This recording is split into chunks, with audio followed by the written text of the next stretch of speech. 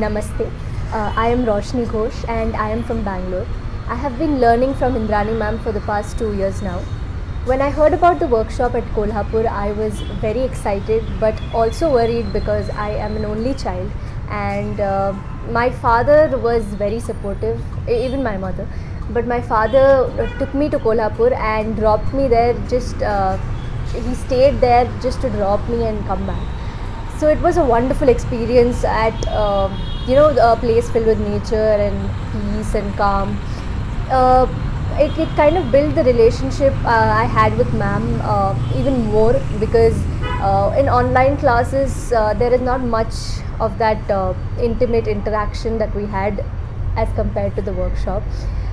We listened to ma'am's gurus speaking about rag, thumri, and the different ways that a person can look at a song, the techniques of singing, the history of music. We learned a lot from ma'am, and uh, I think it was a very wonderful experience. Thank you.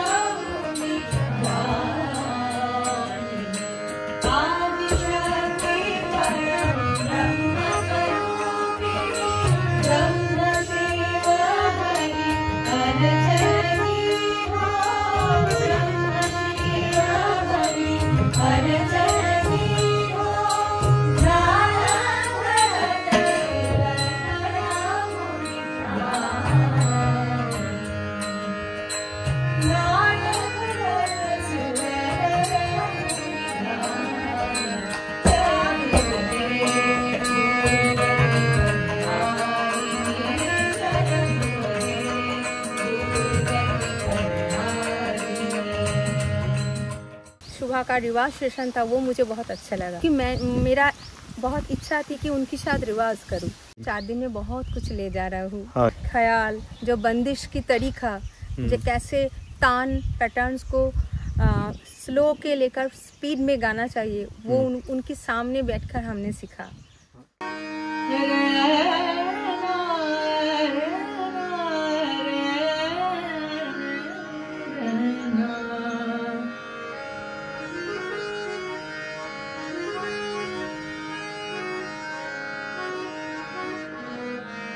क्या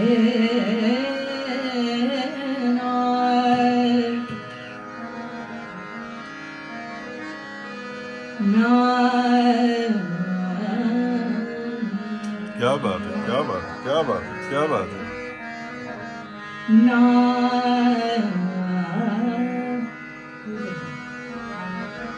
ये बात ना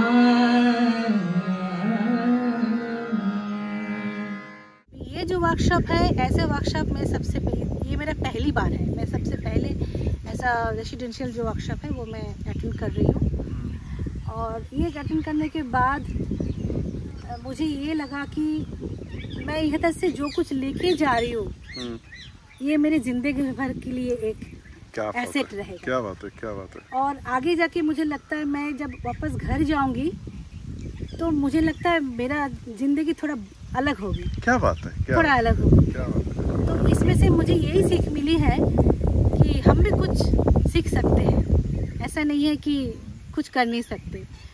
तो इंद्रानी जी के पास मैं सीखती हूँ। ये रियलाइजेशन मुझे हुआ है। तो यही मेरा कहना है। हाँ,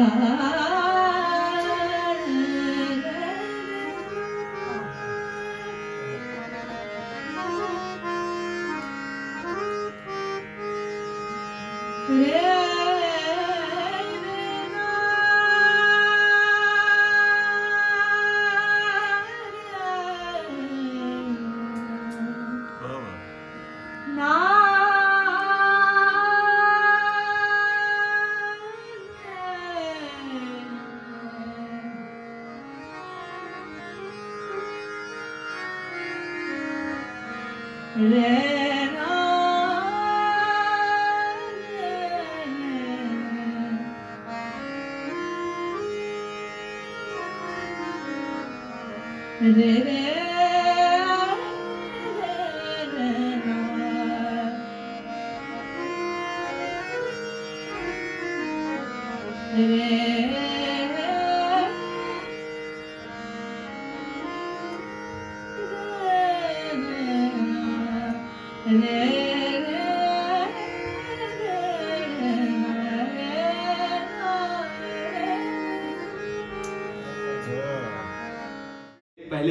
मैंने उनके साथ बजाने का प्रयास किया तो उस उस समय कुछ नई चीज़ें मुझे समझ में आई।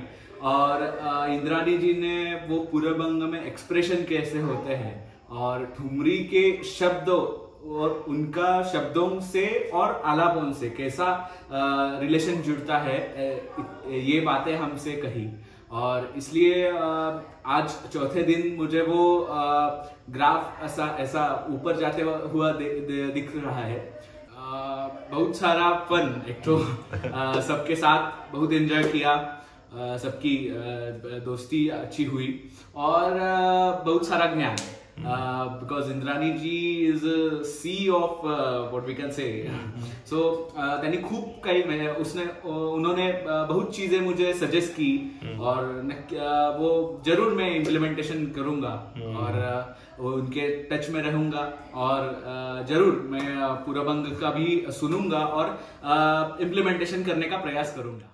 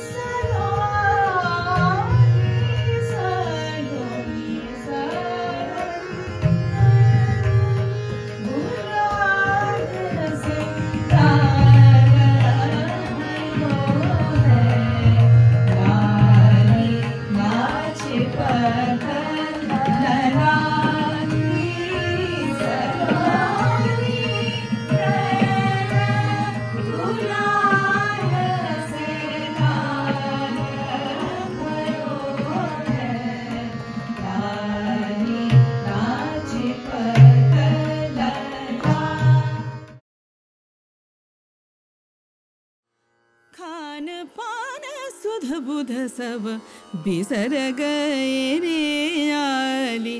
खान पान, सुध बुध सब बिसर गए रे आली।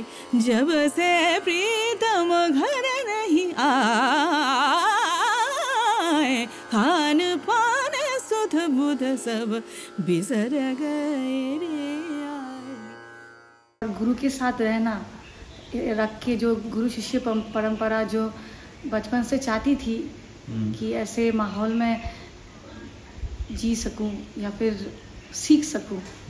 अच्छा गाना या फिर अच्छी क्वालिटी का जो प्योर क्लासिकल म्यूज़िक वो सीखना चाहती थी जो अकेले तो नहीं हो सकता। ऐसे एक साथ गुरु के साथ रहने से ही वो जो चीज़ है मिल सकती है। रास्ता दिख रहा है हाँ। जैसे भटके भटक गए थे हम लोग। Okay okay. हम लोग मैं भटक गई थी कि कहाँ कैसे रियाज करना है कैसे आगे बढ़ाना है कि हम जो चाहते हैं करना चाहते हैं। ठुमरी सीखे हैं जो एकदम हाथ जो ऐसे बोलते हैं हाथे कुड़ी बोलते हैं बंगालीज में कि जो हाथ पकड़ के लिखाना। तो दीदी ने वही सिखाया कि हाथ पकड़ के ठुमरी सिखाना। कैसे शुरू करना कैसे भाव लाना है कैसे व्यक्त करना है अपने फीलिंग्स को।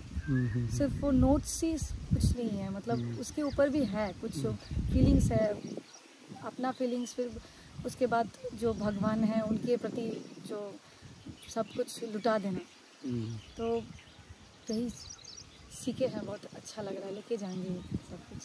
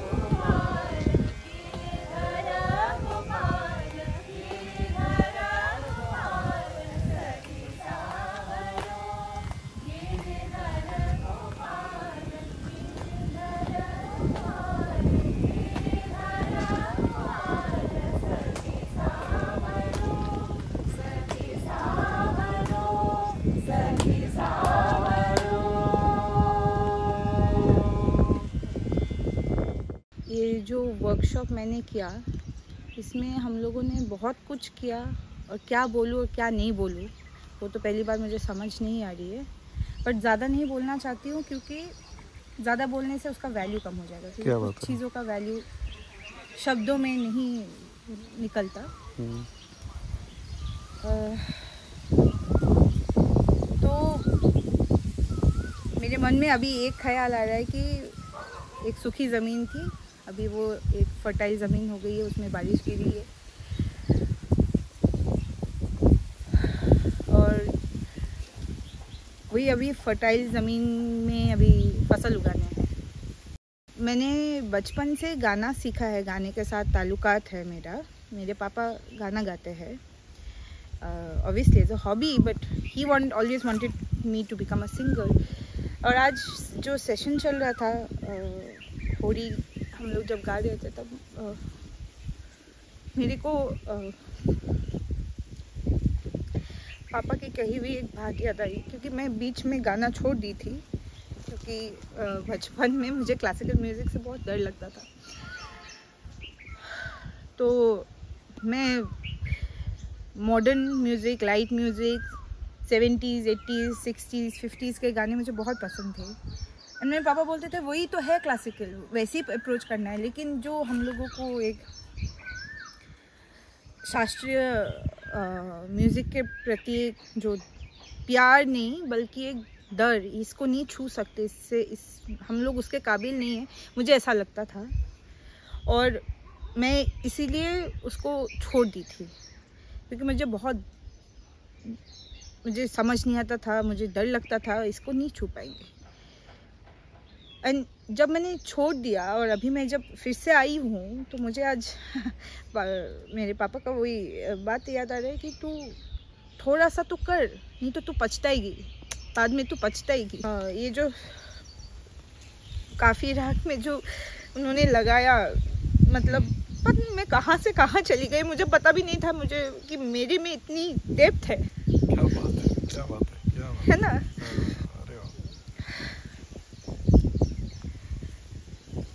और जिस चीज़ की तलाश करते करते मैंने थिएटर ज्वाइन किया मैं इधर उधर इंडिया के हर जगह घूमी। हाँ मतलब अगर मुझे ऐसा कुछ वो पहले कुछ मिल जाता तो तो अच्छा। मैं और ज़्यादा इससे खुश रहती। मैं नहीं बोल रही हूँ कि मैं बहुत बड़ी सिंगर बन जाती वो नहीं ये अनुभूति जो है। वो अनुभूति आपको इस वर्कशॉप में मिली। हाँ जिसकी तलाश थी। कि ऐसा कुछ लाइफ में करना है क्योंकि मैं मास्टर्स इन इकोनॉमिक्स कर चुकी हूँ लेकिन उसको लेके मुझे वो नहीं मेरे को मीनिंग ऑफ़ लाइफ दे रहा है बट जो मीनिंग ऑफ़ लाइफ मुझे आज मुझे चाहिए था वो मुझे वो वर्कशॉप में मिला है सो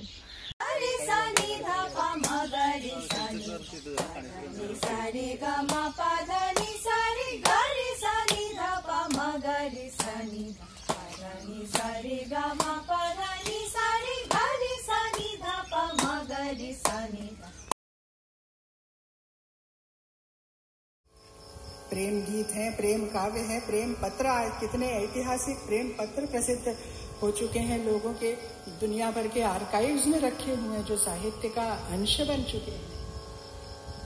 और ठुमरी वाणी से मिश्रित हो यह भी ज़रूरी नहीं है। उस जमाने में जब इतनी समृद्ध भाषा नहीं थी तो मौन की भाषा तो थी, नयनों की भाषा तो थी, संकेतों की भाषा तो थी, होठों की भाषा तो थी जो बात वाणी नहीं कह पाती थी वो शायद नेत्र कह दे पूरब अंग जे अपन जो हम ठुमरी को अभी बोलते हैं पूरब अंग अभी तक हमने जो ठुमरी सुनी वो अलग ही थी। Okay. और जो अभी इंद्राणी ने जो ठुमरी का दर्शन दे दिया हमें या ठुमरी की तरफ़ देखने का जो परसेप्शन दिया वो अलग ही था।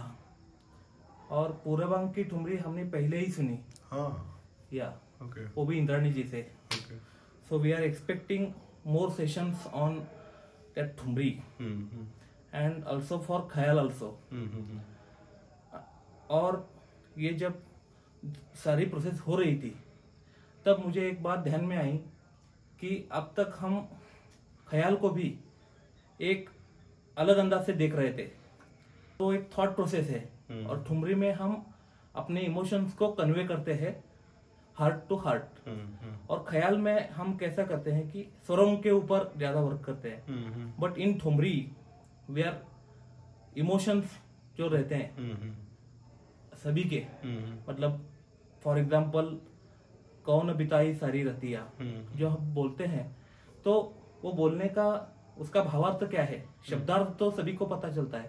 बट भावार्थ इंद्राणी जी ने हमें बताया कि भाव कैसा देखना है।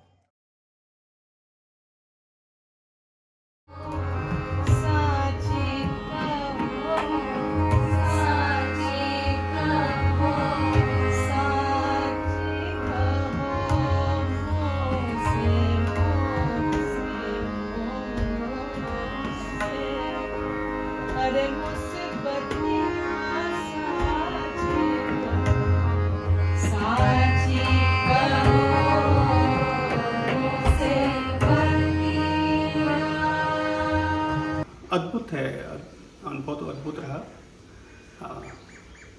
बहुत समृद्ध बहुत एनरिच करने वाला अनुभव रहा।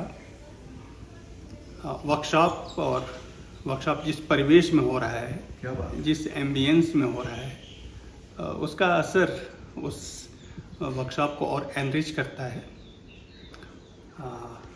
जितने सुंदर परिवेश में ये हो रहा है ये मन को और आत्मा को शांत करता है।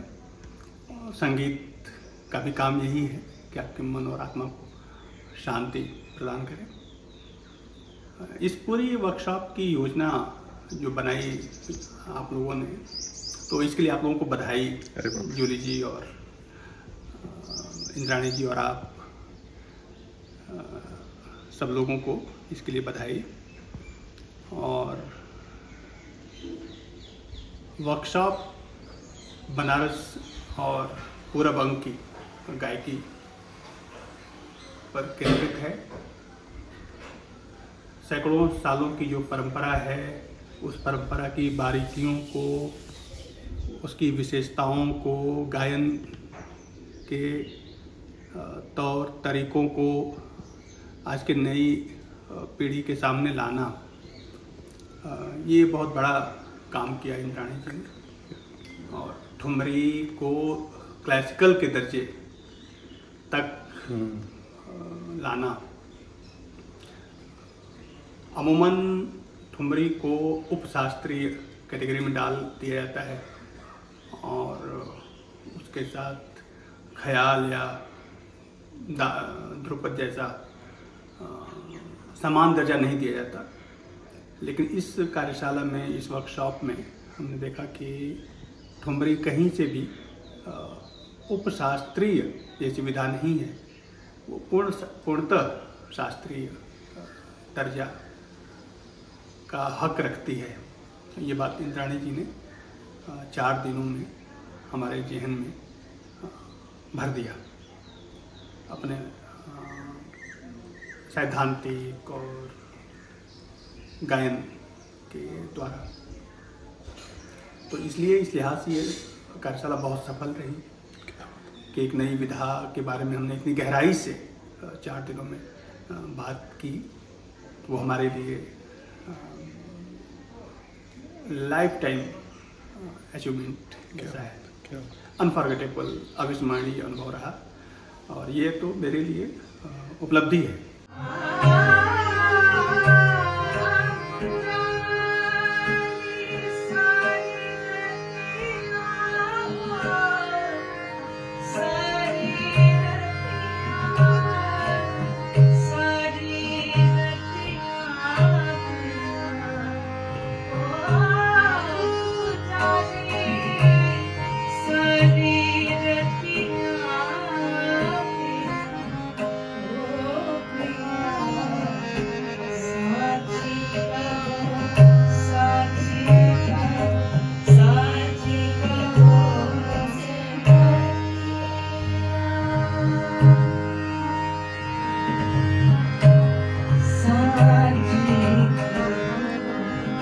Ja, Mann. Ja, Mann.